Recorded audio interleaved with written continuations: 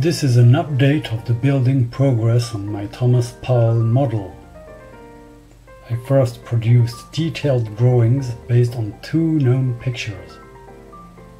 Unlike the real boat, which was built from wood, my model is made of metal with wooden veneer. It's just about 7 feet long.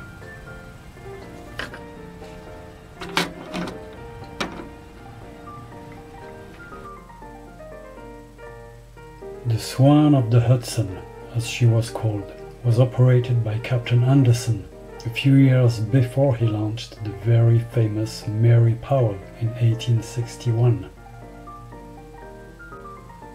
The hog frame system strengthened the wooden shallow draft hull.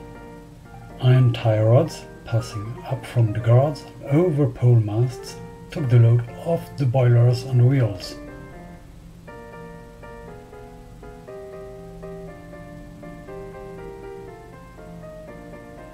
Quite a number of different knees were used beneath the guards. Although unusual today, vertical rudder pulleys were then quite common.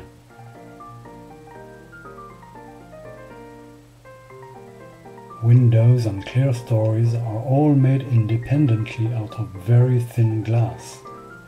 Quite challenging not to break them while cutting.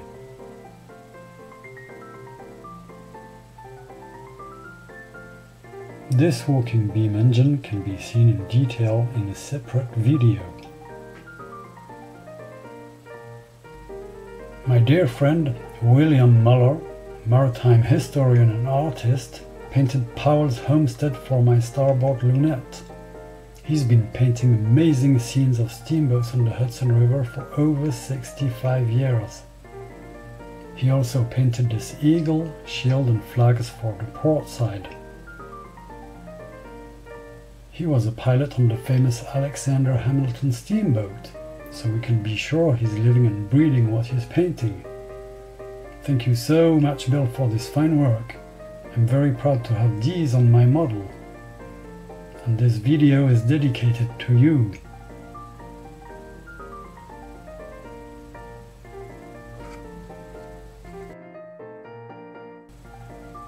Pressure relief valves and steam piping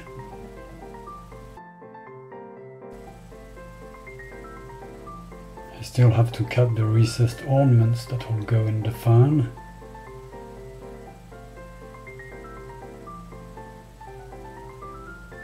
Still no stairs to the pilot house. Wooden lifeboats in progress. And that's about it for now.